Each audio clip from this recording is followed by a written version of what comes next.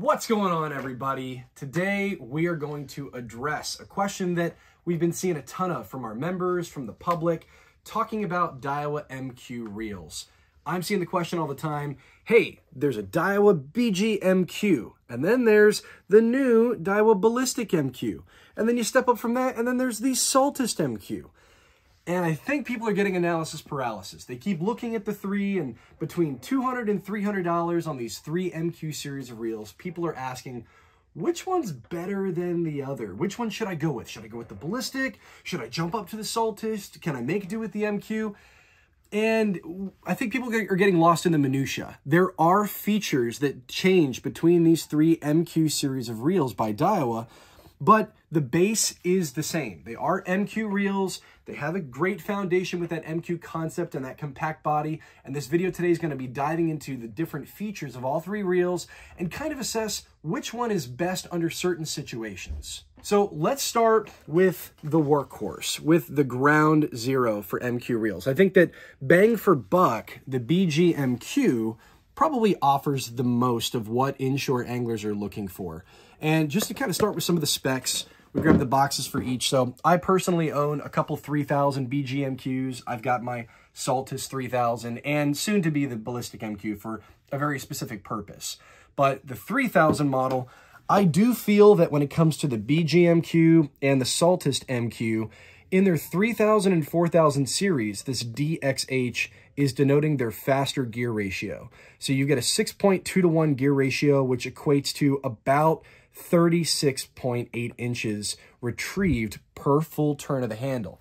Inshore guys like to have the speed. They just want that option at their discretion. Um, if you want to have a setup that brings in slightly slower speed, it's a matter of an inch or two difference, so I don't really think it makes a difference, but if it's better to have it and not need it than need it and not have it is my perspective. So I think that for the BGMQ and the Saltist MQ, that 3000 size is right in the money because it's really not that much bigger than a 2500 in the big scheme of things in this MQ platform. So continuing to look at some of the features, obviously the MQ body design, which we have talked about many, many times. The short version is this is an aluminum body and it's very compact. And on top of that, they use a main gear that is absolutely massive. It is 20% bigger than some of their other main gears that they use in their LT series, even in the regular original BG series, the black and gold. This main gear is bigger, and it's bigger than, you know, the industry standard, if you will. Um, some other manufacturers, their main gear is a lot smaller. The bigger main gear is going to translate to more power or more of like a winching power when you're under a load. So it's going to feel more fluid. You're not going to have to, you're not going to feel as much resistance when you're winding down on a fish or when you're working lures. But keeping it all compact like that in an aluminum body, make sure that that main gear, that main shaft and the pinion gear here are all in perfect alignment. There's not going to be any flex. There's not going to be any compromise in an aluminum bodied product. So that's really why I'm a huge fan of it. These retail for about $200. And I think that getting, you got six ball bearings, you got great speed, you've got uh, relatively lightweight. For a 3000 size, it's 9.3. Now, to be truthful, some anglers might look at that and say, 9.3, mm, that's a little on the heavier side for me. And you know what? That's okay. I think every fisherman is different. Me personally, I do a combination of fishing the open grass flats for redfish. I'll fish around mangroves for big snook. And I do feel that an aluminum body offers me that versatility that some of the lighter weight reels that we're going to get to talking about might not be as uh, suited for that type of situation. So for $200 to get the speed, to get a moderate weight class, and something overall that, I mean, this is incredibly smooth. I mean, I've had this reel for about eight months now, and you can kind of still see that thing is going. There's been no modification to this reel whatsoever, and it's caught me big reds, big snook, I mean, everything. Uh, this has been a great workhorse reel for me at $200. So when we work our way down the line, the next reel at about $240 is the Ballistic MQ. Now, a lot of you guys out there have been really excited about this model. The Ballistic MQ was teased back at ICAST 2021. A lot of people have been waiting for it, and uh, Daiwa's trying to get reels out to everybody. They're kind of coming out in small batches and limited supply right now but it's a hot item that people have been waiting for. And the biggest reason is because of the weight. So these new ballistic MQs are made out of Daiwa's Zaion V material. It's very, very similar to their, their upper class Zaion. It's virtually one and the same. The difference is that this particular type of composite material allows them to make uh, different sizes and more series of reels out of this type of high density carbon composite and still keep it in a lightweight body because that's what a lot of guys are looking for. One thing that's really important to note is a lot of inshore guys, they prioritize weight on their spinning reels. They think that lighter weight is better across the board. So you don't have fatigue when you're fishing all day and you're working lures. And when you look at the weight, particularly of this BGMQ, I'm sorry, the Ballistic MQ 2500, the 2500 size comes in at 6.9 ounces. That's two and a half ounces lighter than the BGMQ and the Saltist MQ. And people might see that right off the bat and say, wow, I got to go with the lightweight body. Again, I think it's about application, guys. If you're the type of person to fish the flats all day long, open water scenarios, and you're casting a thousand times a day. You're wade fishing. You're fishing for trout and potholes and redfish on the edge of uh, like sandbars and grass flats, tailing. I think this is an excellent option. Not only because it's lightweight, but still you get the MQ body frame that we're talking about, you get the bigger main gear, and you get some lightweight features. When you compare it to the BGMQ, the BGMQ has a standard air rotor, just a standard graphite rotor, lightweight, but, you know, pretty durable overall, and it has a strong one-piece wire bail. The whole purpose, once you start jumping up in this MQ, MQ series, is that you're going to get a Zaion V air rotor, so even lighter in weight, and you're going to get an air bail. Yes, that does help with the overall weight of the reel itself, but I think what it really translates to is fluidity when you turn the handle by having a lighter weight rotor and a lightweight bail, when this rotor rotates, there's less effort involved. So yes, you have perfect alignment with your gears, your main gear, your pinion, your main shaft. It's all tight and compact. But then when you go to turn the handle on this Zaion material, it's going to feel very fluid when you turn the handle. So from a comfort standpoint, from a ooh and ah standpoint, I think the Ballistic MQ is a nice upgrade to the BGMQ for those guys that want that light finesse approach. Can this reel do what this reel does? Yes. Is one better than the other? That's the major question. Well, for me personally, before we jump into the Saltist MQ, I own a BGMQ and a Saltist MQ, both in the 3000 size. I will be adding a Ballistic MQ to my arsenal, but for a very specific purpose. If I want to fish, like I said, around mangroves, docks, submerged structure for some bigger fish that might dog me and take me into that structure, I'm a little more willing to lean on an aluminum bodied product like these two than to lean on a carbon composite material. Now, is that to say this won't get it done? Sure. I have a Tatula LT, which is kind of a step down from the Ballistic. It doesn't have mag seal, might have one or two different bearings, but it works. But there are many times that I've hooked up to big fish on the Tatula that I have wished that I had an aluminum body product because the rigidity and the uncompromising strength of aluminum can't be contested.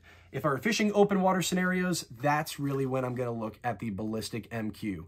So that's kind of the baseline between these two before we jump into the Saltist MQ, is take into serious consideration what your approach is as an angler. Where are you fishing? What are you targeting? What is the intended application of this reel? And you'll start to see that as you jump up from these features, you get more bells and whistles when you start getting into the higher tier series of uh, MQ reels. To finish off the Ballistic, let's talk about some of the other features that are packed into this. So yes, made out of the Zaion V material, lightweight.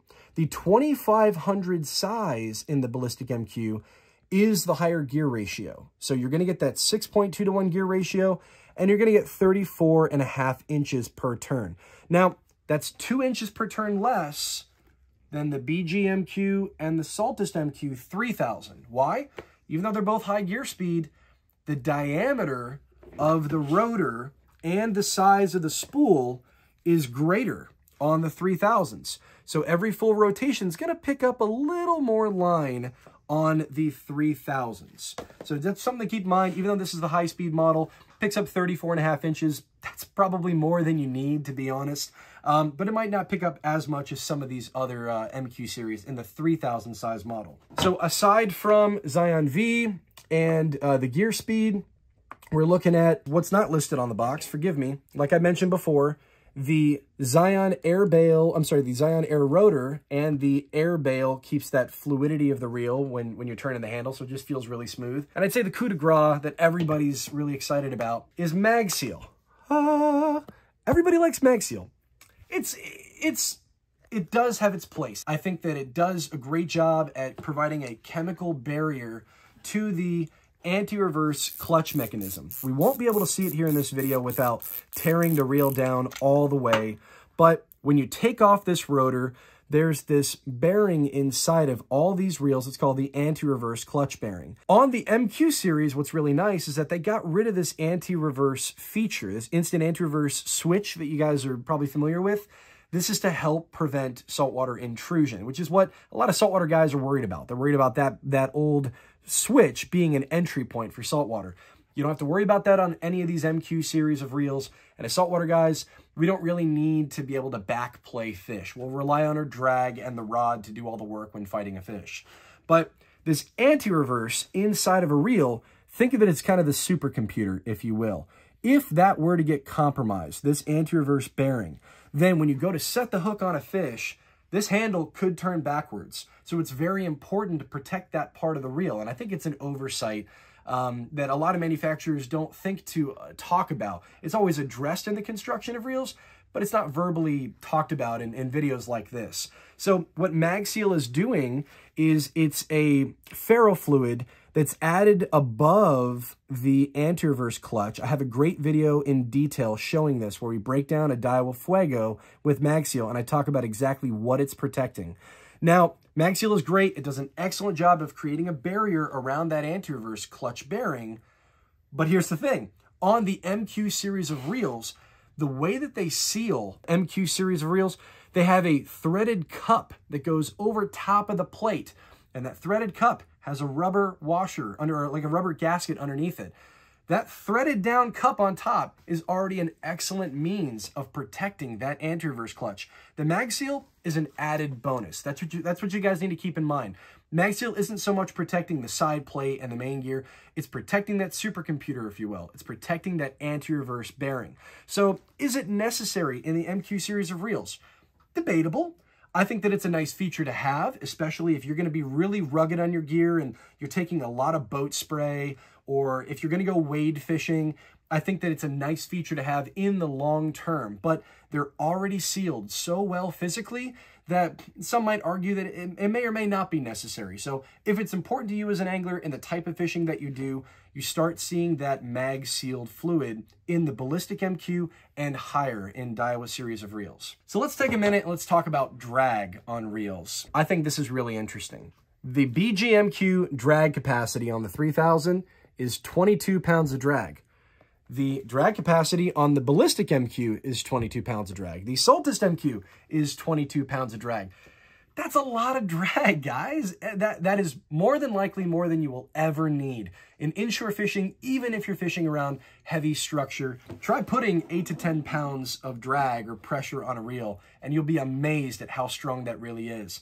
But what I find interesting is that if you have the ability to really crank down your drag on these smaller, low profile inshore spinning reels, and if you feel the need to go there and you want to go the distance, you want to go and fish around heavier structure, I do think that you'll probably get the most out of that in going with an aluminum bodied product because aluminum is never going to flex. It's never going to bend. It's always going to maintain its shape. It's rock solid. So if you want to push the limits on drag, although I, I don't think you're ever going to get that high, but if you are going to run 8 to 10 pounds of drag, potentially, you're probably better suited going with these two series of reels, the BGMQ and the Saltist MQ, because they are aluminum body. And then now we're going to talk about the Saltist MQ. Guys, this reel actually won uh, ICAST 2021 Best Saltwater Reel in its class. And for good reason. This is the best balance of all worlds, I think, for the price range. The Saltist MQs come in at right around $300 in that 2500 3000 and 4000 size.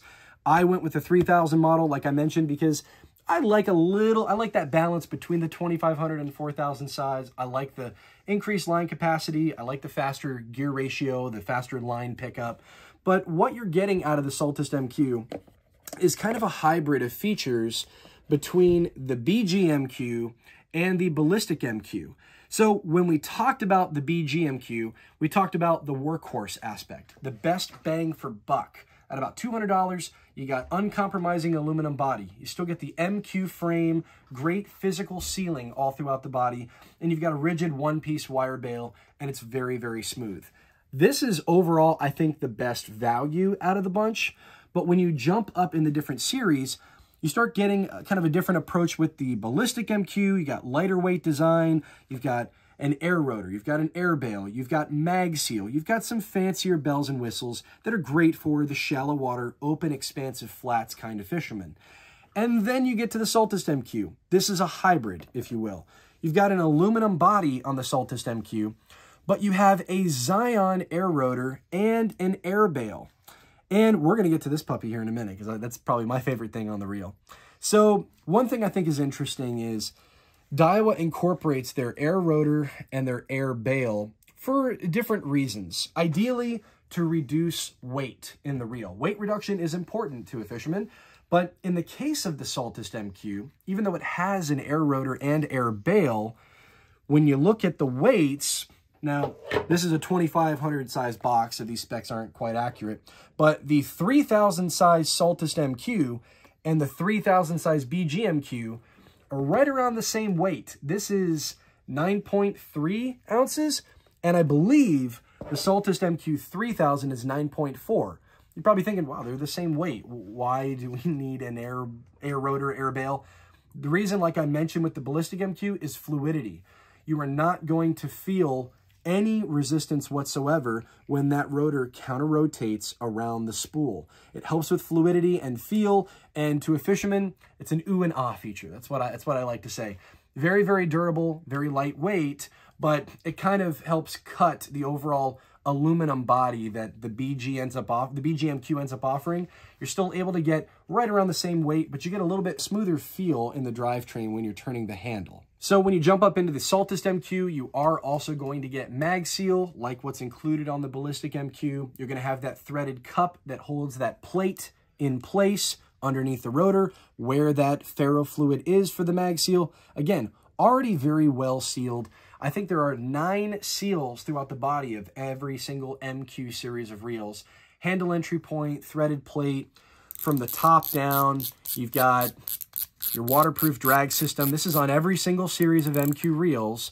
Your waterproof drag with that lipped cup here. Take the spool off. Something I think is really cool. This is on every single MQ series of reel. You see that little rubber tab right there? Let's call it like a low friction seal, okay? So when the main shaft goes up and down through that seal, it does provide basic physical preliminary protection for water working its down the main shaft, but it's not constricting the drivetrain. So it's not going to feel like you really got to get it going for it to be smooth, like some other reels that are only focused on physical sealing. This is a great balance of not only do you have physical sealing, but you still have that smoothness that a lot of fishermen are looking for. I mean, you, that's kind of subjective, but it's something important to us as fishermen. Everyone wants a smooth reel that is also very well sealed. And I think you're going to get that in all the series of these MQ reels. You're just going to get some added features when you jump to the Ballistic and you jump to the Saltist MQ. Now, the final thing about the Saltist MQ, the thing that sticks out like a sore thumb, but I love it, is this aluminum round knob that they incorporated uh, on the Saltist MQ. So this aluminum round knob, Daiwa actually incorporates on other reels in other markets throughout the world. They call it an ARK or aluminum round knob. Well, they incorporated this round knob here on the Saltist MQ in every single size, in their 2500 all the way up to their like 14,000 and bigger for like big yellowfin tuna and offshore stuff. And I really like it. For those of you guys that have fished with a round knob before, you end up having a little bit better control. It's a little more ergonomic to the touch. I think some people that are fishing with these smaller eye-shaped knobs, you're really kind of grabbing it with just a couple fingers. You're not really grabbing it with your whole handle. Can't really get your whole grip on there.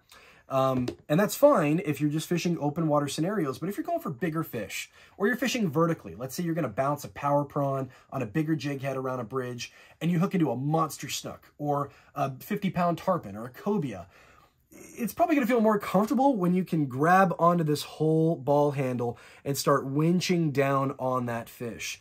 This is really what guys call a power knob, okay? Well, let's just call it a round aluminum knob. It's much more comfortable, and this piece right here, if you were to buy it separately and try to manually put it on to a BGMQ or a Ballistic MQ, be like 50 or 60 bucks. This puppy's pretty expensive.